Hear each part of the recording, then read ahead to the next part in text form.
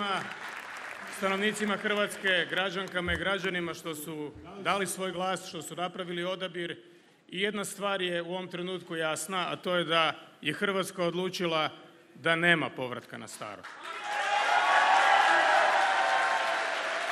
U kojem pravcu, u kojem smjeru idemo, odlučit ćemo sljedećih dana. Možemo već sutra.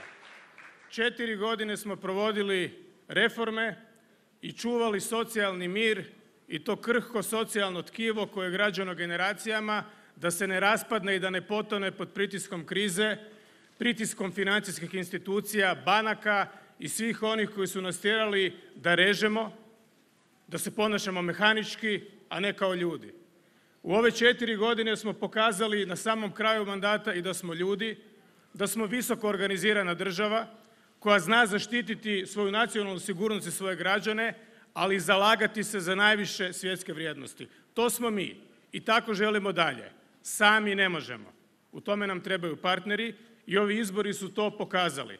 Pozivam sve one koji žele reforme, ali reforme koje će Hrvatsku pametno, dozirano, inteligentno voditi tamo gdje je mjesto, među, među europske ljepotice, da nam se pridruže ne kao vođama, nego kao partnerima.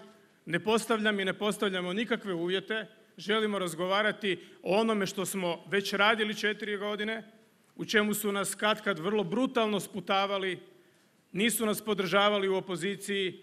Sada vidimo da se pojavila politička snaga, to je Most, ali ne samo Most, koja želi reforme, koji ih pokušava artikulirati, pozivam ih da to napravimo zajedno.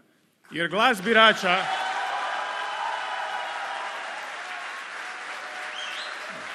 Glas birača nije samo glas. To je vjera. To je povjerenje. To je nada.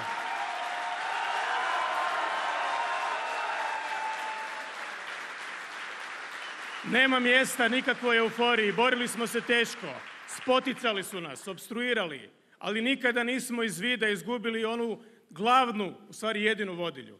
A to je hrvatski interes, a taj hrvatski interes mora biti interes svakog hrvatskog čovjeka, njegove sigurnosti, njegovog posla koliko je to moguće i konačno nakon četiri godine možemo reći čista obraza, čista srca, bistrih očiju da Hrvatska raste, da je Hrvatska danas organiziranija i bolja država nego što je to bila ikada u zadnjih 25 godina, da Hrvatska i u svijetu dobija priznanje da je transparentnija od ostalih, da je bolje organizirana prema građanima. Sve je to rezultat rada ove vlade, moje vlade. Njezin mandat je završio. Hoćemo još, želimo služiti svom narodu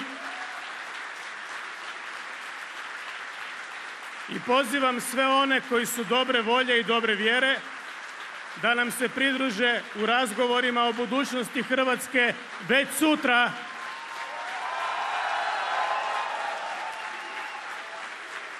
Hvala svima od srca. Hvala Hrvatskoj. Hvala onima koji su nas i koji su mene trpili ove četiri godine. Nije bilo lako, ali bili smo puna srca i ne baš prazne glave.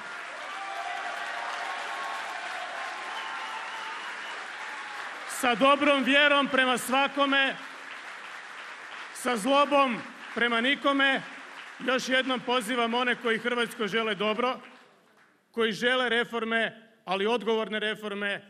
Ponavljam se, ali se moram ponavljati, jer riječ je o jako osjetljivim stvarima koje nestanu u pet točaka i ne možete obećati da ćete državu voditi u pet točaka, to je puno teže.